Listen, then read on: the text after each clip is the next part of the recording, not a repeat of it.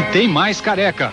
O jogo agora é contra a Inter. Vitória dos Menudos por 3 a 1. Careca, 1 a 0 São Paulo. 40 primeiro tempo de jogo. Tem o Marinho, passou por ele, lê.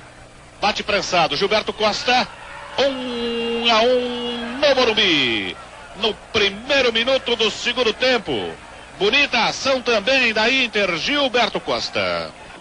Vem Márcio Araújo. Pode arriscar. Atenção. 2 a 1 São Paulo. Pianelli, uma bola mascada.